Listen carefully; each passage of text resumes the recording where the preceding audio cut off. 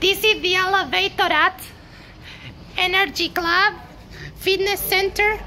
Patio Outlet Temuco y Temuco, Chile. It's a Schindler. Let's go up. The cab,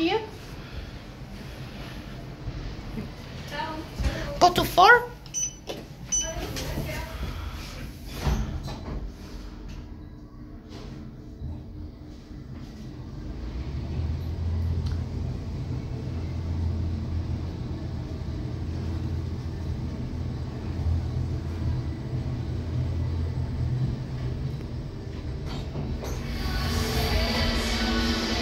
Persons, one thousand kilograms. One